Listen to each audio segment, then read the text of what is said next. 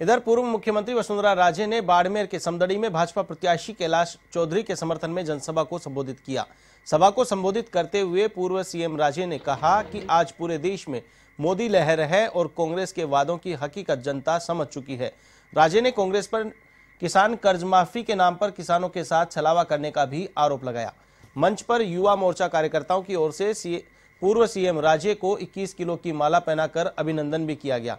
इससे पहले station road स्थित खेल मैदान में पहुँचने पर स्थानीय कार्यकर्ताओं और पदाधिकारियों ने राजे का शानदार स्वागत किया, जिसके बाद राजे ने कार्यकर्ताओं से बातचीत भी की।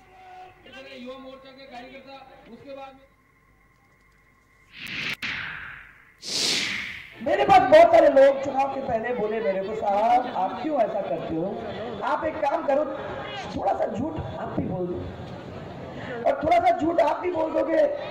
अपने बहुत अच्छे लोग हैं बहुत सिंपल लोग हैं। और ये आपके बाद साथ में चले आएँगे तो आप बोल देना कि चुनाव के बाद, जीतने के बाद आप सबका कर्जा माफ़ कर दोगे।